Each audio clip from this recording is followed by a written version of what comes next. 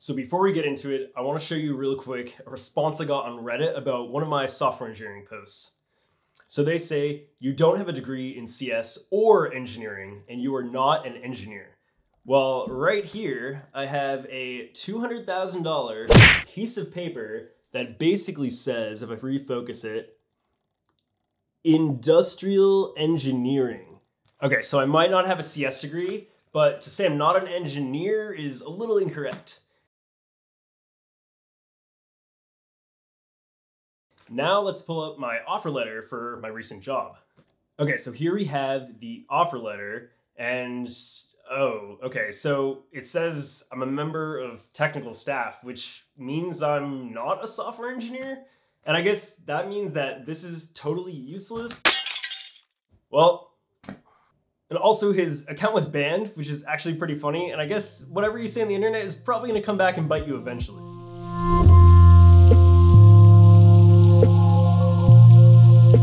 So there are a lot of misconceptions of what software engineers actually do, especially because of all these day in the life of a software engineering videos on YouTube. So starting out with a foundation. What is the job of a software engineer? Well, a software engineer's job is to basically find solutions for business problems using technology. Now, there are many types of software engineers. There are web developers, mobile developers, support engineers, the list goes on and on. I'm going to come at it from a web developer point of view because that's what I do during the day, and a lot of these are very transferable throughout all disciplines of software engineering. Make sure to watch through the whole video because I'm going to bring you through step by step the whole process of what it's like bringing an idea to an actual product and also a few of the other things that I tackle during my day as a software engineer. And you are not an engineer. Okay, so if our jobs are to basically build technical solutions, how do we even go about doing that? These product managers also work with other areas in the company like sales, marketing, and risk to figure out what they exactly need for this technical solution. Once this is figured out, the PM then takes that information and figures out what functional requirements are needed for the software engineers to build. So now that we've gotten that out of the way, we have a long-term timeline that the PM comes up with, which is basically an estimate of how long it might take to build this solution. Now, over the long term, you basically break down this time into shorter segments called sprints. At least for our team, we've defined each sprint or segment of time as two weeks. This is a defined period of time where we add in tasks and track these tasks in order to build features that then build a product.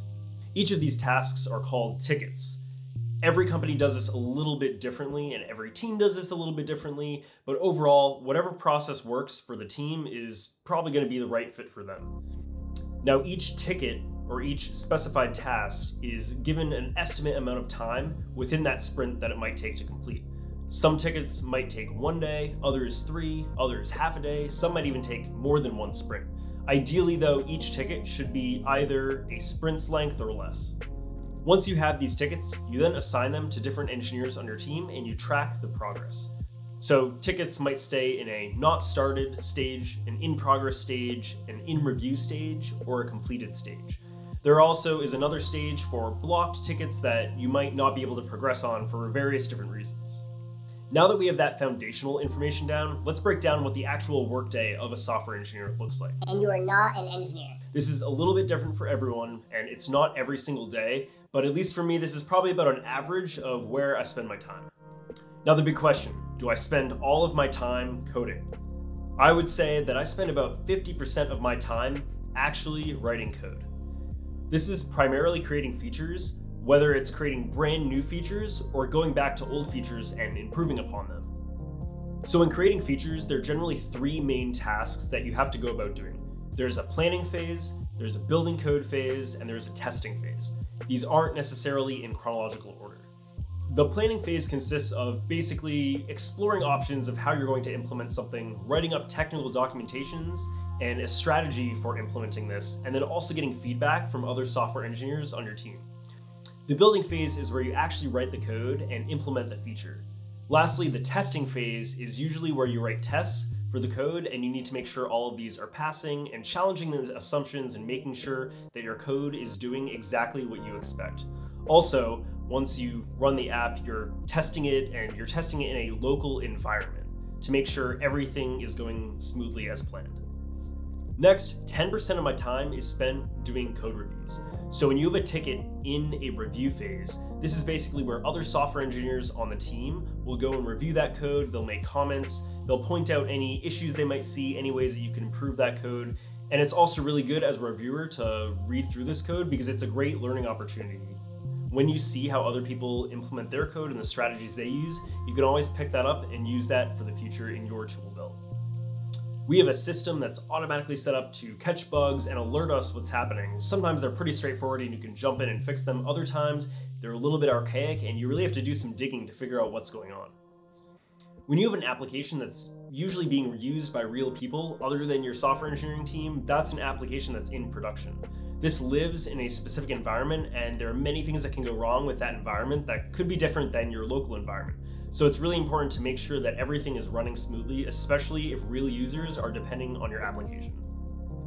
Now for the non-technical stuff. So the next 15% of my time is generally used for collaboration and basic communication. Usually it's talking with my PM to make sure I'm on track and to get any clarifications that I might need. Also talking with other engineers to figure out what strategies to use and things like that. That can pretty much be binned under the non-technical portion. And working with designers also to see what their vision is and figure out how you're going to implement that is pretty important as well. Thankfully, our team really tries to minimize the amount of team meetings. I think this is really important if you want deep work. Every morning, we have something called a daily stand up, and that's when you all gather around and share what you worked on yesterday, what you worked on today, and what you might be blocked on.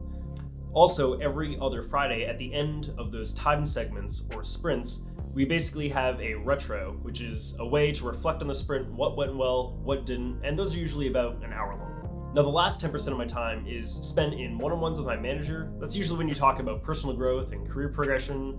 Also, full company meetings. So, this is not just the engineering teams, this is everyone from marketing to sales and everything in between. Lastly, there are the social events. This is having lunches or celebrations or anything else that might come up during the day. They aren't extremely frequent, but usually at least, you know, once every other week they have a little something, which is pretty fun. I hope that cleared up some of the misconceptions of what a software engineer actually does. I know some of those day in the life videos can give a little bit of an unrealistic view of what a software engineer does. It's not all playing ping pong all the time or only eating food and not doing any work.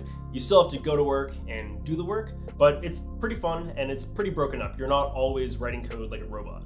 So if you enjoyed this video, give it a thumbs up and make sure to subscribe.